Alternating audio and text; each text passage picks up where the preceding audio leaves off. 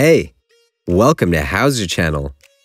In today's video, we will show you how to overline text in Microsoft Word.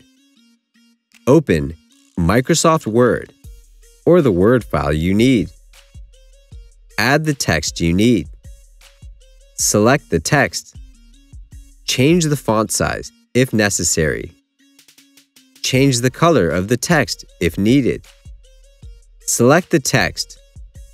Go to Insert tab at the top panel. Click on Equation at the top right corner of the screen.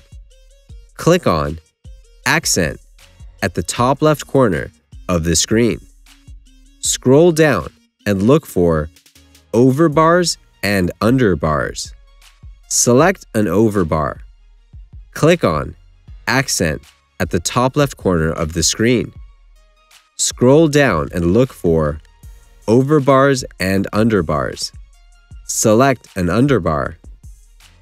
You can do this with words, text, letters, numbers, symbols, and characters. That's it. Thanks for watching the video. Please like it and let us know if you use any of our tips and tricks. Subscribe to our channel. We upload new tutorials every day. See ya!